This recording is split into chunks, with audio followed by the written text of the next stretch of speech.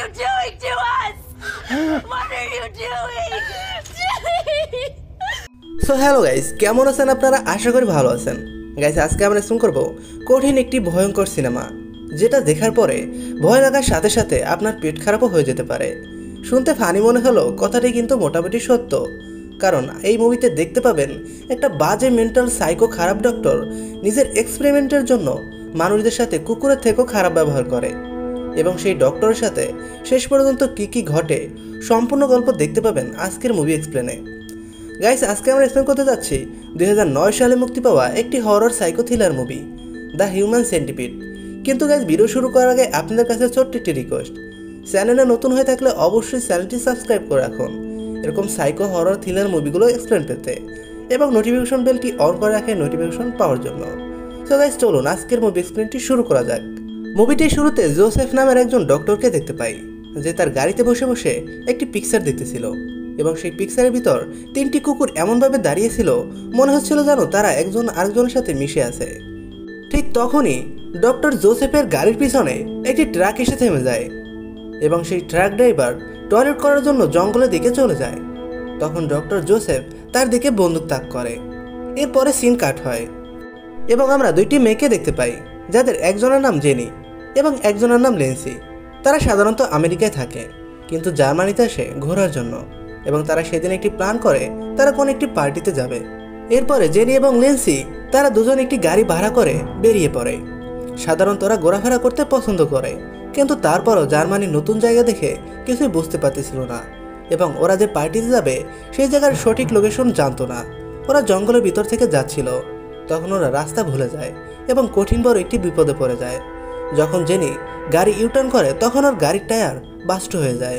Jenny গাড়ি ঠিক করার জন্য গ্যারেজে কল করে, কিন্তু সেটা ছিল জঙ্গল, যার জন্য ওরা মোবাইলে কোনো ধরনের নেটওয়ার্ক পাচ্ছিল না এবং ওরা এমন একটি রাস্তায় ফেসে যায়, যেখানে আশেপাশে কোনো ঘরও ছিল না। এরপরে ওরা সিদ্ধান্ত নেয় যে এবার গাড়িতেই থাকতে হবে এবং এই রাস্তা থেকে যাওয়া লোকদের থেকে সাহায্য নিতে হবে। কিছুক্ষণ পরে ওদের পিছনে একটি গাড়ি চলে আসে এবং সেই গাড়ি থেকে ওরা সাহায্য চায়। এবং সেই গাড়িতে একটি বুড়ো লোক ছিল, যে ওদের দিকে খুব বাজেভাবে ইশারা করতেছিল। সেটা দেখে ওরা গাড়ির গ্লাস বন্ধ করে দেয় এবং ওকে যেতে বলে। এরপরে সেই গাড়িটিও সেখান থেকে চলে যায়। এরপরে জেনি এবং লেন্সি তার একটি গড় খোঁজার জন্য বেরিয়ে পড়ে, যেন সেই গড় থেকে ফোন করে কাউকে সাহায্যের জন্য ডাকতে পারে। কিছু দূর যাওয়ার পরে ওরা একটি গড় থেকে আলো আসতে দেখতে পায়, কিন্তু তখনই সেখানে অনেক বৃষ্টি হতে শুরু করে। ওরা সেই ঘরের দিকে চলে যায়, কিন্তু সেখানে যেতে যেতে ওরা অনেকটাই ভিজে যায়। এরপরে ওরা সেই বাসায় গিয়ে দরজায় নক করে এবং সেই দরজা থেকে ডক্টর জোসেফ বেরিয়ে আসে। সাধারণত এই ঘরটি ডক্টর জোসেফের ছিল। এরপরে ওরা দুজন ডক্টর জোসেফকে ওদের প্রবলেমের কথা বলে যে এমার্জেন্সি কার রিপেয়ারিংওয়ালাদের ফোন করতে হবে। ডক্টর জোসেফ ওদের দুজনকে একা দেখে ঘরের ভিতর ঢুকিয়ে নেয়। এরপর ওরা দুজন ঘরের ভিতর ঢুকে বিভিন্ন ধরনের আজব পেন্টিং দেখতে পায়, যেটা দেখে ওরা অনেকটা ডিস্টার্বিং ফিল করে। কারণ এই পেন্টিংগুলো ছিল একটু ডিস্টার্বিং এরপরে ডক্টর জোসেফ ওদেরকে প্রশ্ন করে যে, তোমরা কি ট্রাভেলার? এটা শুনে ওরা বলে যে, না, আমরা ট্রাভেলার না। আমরা আমেরিকায় থাকি এবং জার্মানিতে এসেছি ঘুরতে। তখন ওরা আবারও ডক্টর জোসেফকে সেই কার রিপেয়ারিংওয়ালাদের ফোন করতে বলে। কিন্তু ডক্টর জোসেফ ওদের কোনো কথাই শোনে না। এই কথাটিকে একদমই ইগনোর করে দেয়। এরপরে ডক্টর আরেকটি প্রশ্ন করে যে, তোমরা কি রিলেটিভ? এটা শুনে ওরা বলে যে, না, আমরা রিলেটিভ না, কিন্তু আমরা ফ্রেন্ডস। এটা শুনে ও সেখান থেকে উঠে এবং পানি আনার জন্য চলে যায়। এবং সেখানে গিয়ে একটি ফোন করে। সেটা দেখে জেনি এবং লেন্সি ভাবতেছিল, হয়তোবা কার রিপেয়ারিংওয়ালাদের ফোন করতেছে।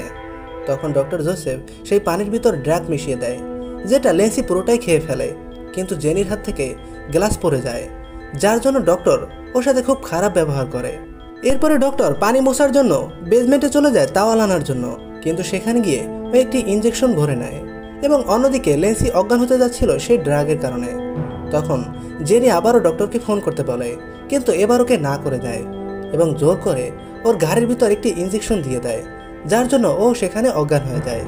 এরপরে ডক্টর ব্রেকফাস্ট করে নেয় এবং অন্যদিকে জেনি এবং লেন্সির যখন জ্ঞান ফেরে, তখন ওরা নিজেদের বাদ অবস্থায় দেখতে পায় ডক্টর জোসেফের ল্যাবরেটরিতে এবং ওদের দুজন ছাড়া সেখানে আরও একজন লোক ছিল এবং সেই লোকটি হচ্ছে সেই ট্রাক ড্রাইভার।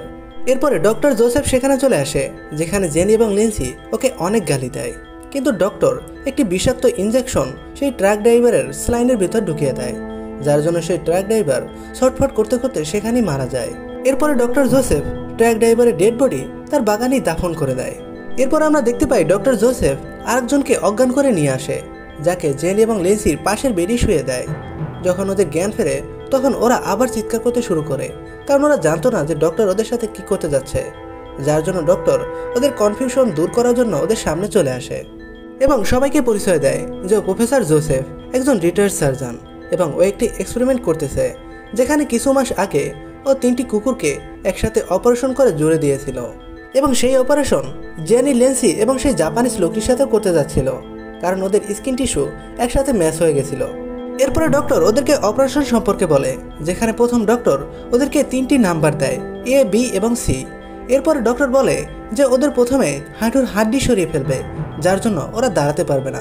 এবং বি আর সি নাম্বারের দাঁত, মুখ এবং জিব্বা কেটে ফেলা হবে। এরপরে সাবজেক্ট বিকে এর ব্যাকসাইডে লাগানো হবে এবং সাবজেক্ট সিকে বির ব্যাকসাইডে লাগানো হবে। এবং ওদের তিনজনকে এমনভাবে লাগানো হবে যেমনটা ডায়াগ্রামে দেখা যাচ্ছে। যার জন্য এটা হবে, সাবজেক্ট এ যখন কোনো কিছু খাবে, তখন ওর পেট থেকে হিউম্যান বিস্ট হয়ে সাবজেক্ট বির পেটে চলে যাবে। এবং সাবজেক্ট বির পেট থেকে সাবজেক্ট সির পেটে চলে যাবে।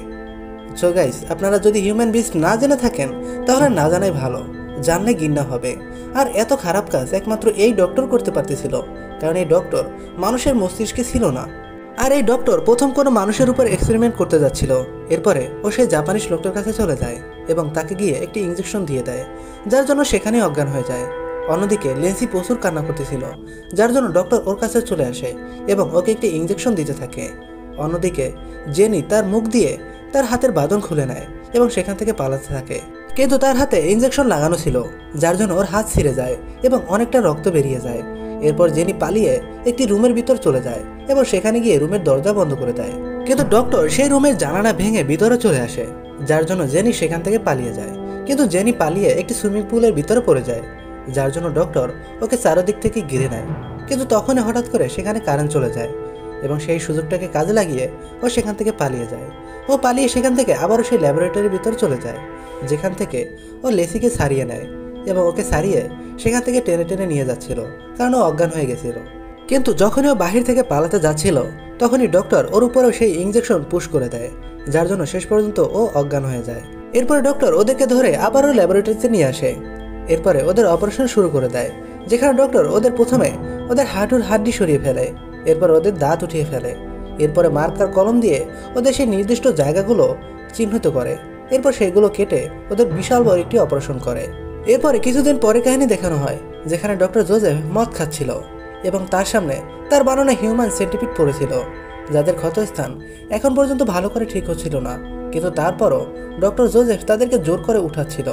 এবং ওরা এমনভাবে জুড়ে ছিল যেমন সামনে ছিল সেই জাপানিজ লোকটি এবং মাঝখানে ছিল লেন্সি এবং সব শেষে ছিল জেনি, যেখানে ওরা সবাই প্রচুর কষ্টে ছিল, কিন্তু তারপর সেই পাগল ডক্টর ওদেরকে উঠিয়ে ওদের ছবি তুলে নেয়। এরপরে ওদেরকে আয়না দেখায়, যে আয়নায় ওদের নিজেকে দেখে ওরা প্রচুর কান্না করে। এরপরে ওদের সাথে ঠিক পশুর মতোই ব্যবহার করে, ওদেরকে খাঁচায় বন্দি করে রাখে এবং সেই জাপানিজ লোকটিকে একদম কুকুরের মতোই খাবার দেয় এবং অনেক মারে। এরপর আমরা ডক্টর জোসেফকে দেখতে পাই যে ওদের সাথে খুব খারাপ আচরণ করতেছিল এবং ওদেরকে নিয়ে বাইরে দাঁড়িয়েছিল, যেখানে সেই জাপানিজ লোকটির টয়লেট চলে আসে। কিন্তু সেই জাপানিজ লোকটির সব হিউম্যান বিজ সব লেন্সির মুখের ভিতর চলে যায়। লেন্সি না চাইতেও সেটা গিলতে হয়। আর এই সিনটি ছিল সব থেকে ডিস্টার্বিং এবং উইয়ার সিন এরপরে ডক্টর একদিন ওদেরকে চেক করে, যেখানে দেখে জেনির অবস্থা খুবই খারাপ। তাই ও জেনিকে সেখান থেকে চেঞ্জ করার সিদ্ধান্ত নেয়। কিন্তু তখনই ওর দরজায় কেউ নক করে। এবং সেখানে গিয়ে দেখতে পায় যে দুজন পুলিশ অফিসার রয়েছে, যারা জেনি এবং লেন্সিকে খোঁজার জন্য আসে।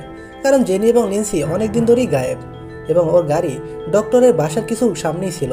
তখন ডক্টর ওদেরকে বলে, আমি একজন ডক্টর, আর আমার কাজের জন্য আমি এতটা ব্যস্ত থাকি যে আমার বাইরে বের হওয়া হয় না। আর আমি জানি না যে জেনি এবং লিন্সি কোথায়। এরপরে ডক্টর ওদেরকে কিছু পান করার জন্য বলে, যেখানে পুলিশ অফিসার কফি খেতে চায়। কিন্তু ডক্টর বলে, না, শুধু পানি পাবে। এটা বলে ও পানি আনতে চলে যায়, কিন্তু পুলিশ অফিসাররা অবাক হয়ে যায়। এরপর ও সেখান থেকে পানিতে ড্রাগ মিশিয়ে আবার নিয়ে আসে এবং পুলিশ অফিসাররা ওকে বলে যে, কেউ তোমার ঘর থেকে সেই গায়েব হয়ে যাওয়া মেয়েদের আওয়াজ শুনেছে এবং তোমার গাড়ি সেই ট্রাকের কাছে রয়েছে, যে ট্রাক ড্রাইভার কিছুদিন ধরে গায়েব রয়েছে। এটা শুনে ডক্টর অনেক জোরে চিৎকার শুরু করে এবং ওদেরকে পানি খেতে বলে, যার জন্য পুলিশ অফিসার ওর হাত থেকে গ্লাস ফেলে দেয়। এরপরে ডক্টর আবারও বেজমেন্টে চলে যায় তাওয়ালের বাহানা দিয়ে এবং সেখানে গিয়ে ইঞ্জেকশন নিয়ে আসে, যাতে করে ওদেরকে অজ্ঞান করে দিতে পারে। কিন্তু এবার ডক্টর সেই পুলিশদের হাতে ধরা খেয়ে যায়। কিন্তু ডক্টর ওদেরকে বলে, আপনারা কোনো কারণ ছাড়া এভাবে প্রেশানি করতে পারেন না। এমনকি কোনো ওয়ারেন্ট ছাড়া আমাকে দোষ দিতে পারেন না। এই জন্য সেই পুলিশ অফিসাররা তাদের ওয়ারেন্ট আনার জন্য তারা সেখান থেকে চলে যায়। এরপরে ডক্টর তার ল্যাবরেটরিতে চলে যায় এবং সেখানে গিয়ে তার হিউম্যান সেন্টিপিড দেখতে পায় না, কারণ ওরা তিনজন লুকিয়ে পড়ে। এরপরে সেই জাপানিজ লোকটি একটি ধারালো ছুরি দিয়ে ডক্টরের পায়ে আঘাত করে, যার জন্য ডক্টর নিচে শুয়ে পড়ে। এরপরে সেই জাপানিজ লোকটি তার মুখ থেকে ডক্টরের গলা কেটে তার চামড়া ছিঁড়ে নেয়। এরপরে ওরা তিনজন সিঁড়ি থেকে উপরে যাওয়ার চেষ্টা করতেছিল, যার জন্য ওদের প্রচুর কষ্ট হচ্ছিল, কারণ ওরা একজন আরেকজনের সাথে মিলেছিল। এবং ওদের অপারেশনের জায়গা থেকে প্রচুর রক্ত বের হচ্ছিল। কিন্তু ডক্টর ওদের পিছু করতে করতে চলে আসে এবং সিঁড়িতে পড়ে যাওয়া রক্ত চাটতে শুরু করে। এরপর ওরা তিনজন উপরে চলে যায় এবং সেখানে গিয়ে একটি গ্লাস ভেঙে ফেলে। কিন্তু ডক্টর সেখানে চলে আসে এবং সে জাপানিজ লোকটি একটি গ্লাসের টুকরো দিয়ে নিজের গলা কেটে নিজেই মারা যায়, যেটা ছিল খুবই ডেঞ্জারাস ততক্ষণে সেই পুলিশ অফিসাররা চলে আসে, কিন্তু তারা সেখানে কিছুই দেখতে পায় না। এরপরে তারা সেই ল্যাবরেটরিতে চলে যায়। কিন্তু সেখানে কিছু দেখতে পায় না। কিন্তু তাদের মধ্যে একজন পুলিশ অফিসারের নেশায় ধরে যায়। কারণ ডক্টরের সেই পানি খাওয়ার জন্য। এই জন্য অন্য একজন পুলিশ অফিসার সবাইকে খুঁজতে থাকে। কিন্তু সেই পুলিশ অফিসার শেষ পর্যন্ত তাদের সবাইকে পেয়ে যায়। কিন্তু তাদের অবস্থা খুবই খারাপ ছিল। এরপরে সেই পুলিশ অফিসার ডক্টরকে ধরার জন্য চলে যায় এবং তাকে গিয়ে সুইমিং পুলের পাশে বসে থাকা অবস্থায় দেখতে পায় এবং তার একজন সাথী মরে থাকা অবস্থায় দেখতে পায়। এরপর ডক্টর অন্য একজন পুলিশ অফিসারের বন্দুক থেকে সেই পুলিশ অফিসারকে গুলি করে দেয়। এবং সেই পুলিশ অফিসারও ডক্টরের মাথায় শ্যুট করে দেয়, যার জন্য ডক্টর সেখানে মারা যায় এবং পুলিশ অফিসার দুইজনও সেখানে মারা যায়। শুধু বেঁচে ছিল হিউম্যান সেন্টিপিড এবং এর সাথে সাথে মুভিটিও শেষ হয়ে যায়। গাইস, এটার অনেকগুলো পার্ট রয়েছে। আপনারা যদি সেগুলো দেখতে চান, তো অবশ্যই কমেন্ট করে জানাবেন। এবং আজকের মুভি এক্সপিরিয়েন্সটি যদি ভালো লেগে থাকে, তাহলে একটি লাইক করে দিন এবং কমেন্ট করে আপনার মতামত জানাতে ভুলবেন না জানাও ভিডিও শেষ করার আগে গাইস আপনাদের কাছে ছোট্ট একটি রিকোয়েস্ট চ্যানেলে নতুন হয়ে থাকলে অবশ্যই চ্যানেলটি সাবস্ক্রাইব করে রাখুন। এরকম হরর থ্রিলার মুভিগুলো এক্সপ্লেন পেতে। এবং নোটিফিকেশন বেলটি অন করে রাখে নোটিফিকেশন পাওয়ার জন্য। দেখা হবে নেক্সট ভিডিওতে অন্য কোনো মুভি এক্সপ্লেনে সে পর্যন্ত সবাই সুস্থ থাকবেন, ভালো থাকবেন। Bye bye